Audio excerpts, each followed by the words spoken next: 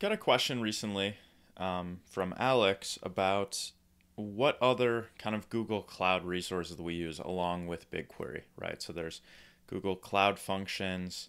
I feel like there's Google Cloud Runner. There's like a thousand different Google Cloud X um, different tools.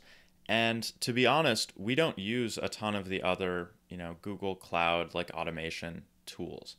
We use Google Cloud Storage to source store CSV files and generally like write files that we're going to upload into BigQuery um, and use the transfer service.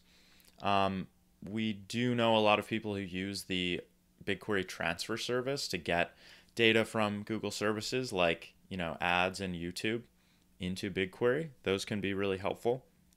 Um, and the last one we use is Google Cloud Functions, which basically is, you know, akin to Google Apps Script for running, say you want to pull data from an API that doesn't have an off the shelf integration, you want to write your own integration in Python or in Node to say write results from that API call into Google Cloud Storage, right, In a CSV that you're going to then probably upload to BigQuery.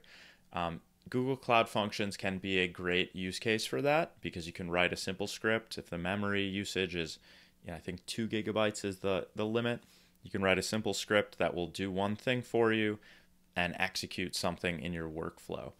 Um, we don't use, uh, we don't, there's a bunch, I know there's two tools in the Google Cloud, I forget what they're called, but they allow you to like automate workflows, data workflows. So, you know, pass data between your different tools, um, kind of like, you know, Zapier, but for an entire, you know, engineering stack. We don't personally use those um, because we just don't have a need for them for stuff like that, we're building like a dependency graph. Generally, we use DBT, which is the open source framework, uh, DBT Cloud, and kind of our own you know tool for running um, SQL queries on a schedule. So in terms of Google Cloud, just want to summarize like kind of what we use. We use cloud functions, we use cloud storage, um, and sometimes we use the we use the trans BigQuery transfer service, but that's kind of the extent of the stack that we found to be really useful out of Google Cloud. Hope that helps. Take care.